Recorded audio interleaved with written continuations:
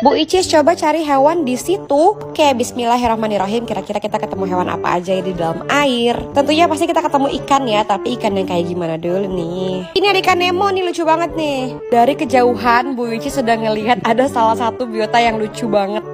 Bu Icis dapat tripang. Tripang ini juga aman dipegang oleh manusia ya, Bu Ici sudah make sure sama ABK-ABK yang lainnya. Jangan lupa langsung dilepasin lagi ke habitatnya. Oke, kita cari lagi ada hewan apa aja di sini ya. Santai dulu, keliling lagi. Uhuy, muter-muter.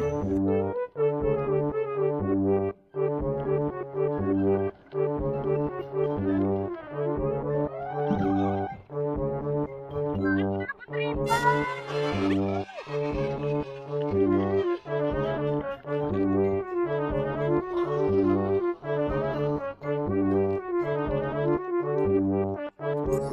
you.